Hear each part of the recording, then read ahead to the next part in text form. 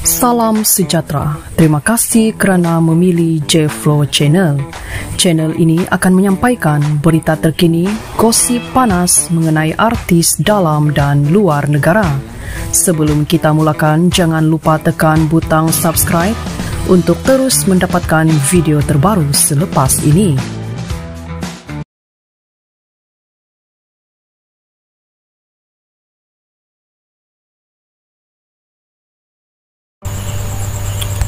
Seorang usahawan pancake mencuri perhatian warganet menerusi bakat terpendamnya menghasilkan sebiji pancake berwarja pelakon kacak Fatamin.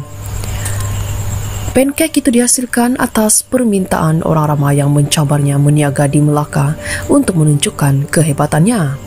Maaf tak perfect sebab lukisan atas kualitas sama macam atas kertas.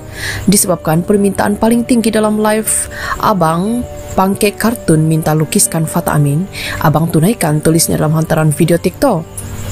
Pancake itu dihasilkan selepas memperoleh 150 ribu likes daripada video terdahulu. Ramai je datang kedai minta lukiskan muka sendiri, muka artis dan muka istri atau suami. Bukan abang tak boleh lukis, cuma lukis muka orang ni rumit dan ambil masa sangat lama. Nanti takut orang kecewa sebab tak dapat macam rupa yang korang nak.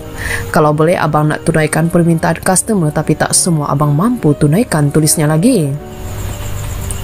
Hasil kreativiti peniaga itu netizen singgah di ruangan komen menuliskan kata-kata pujian dan mengagumi bakatnya. Ini kalau dah makan tak sampai hati, nak berak sebab sayang nak biar je fata dalam perut.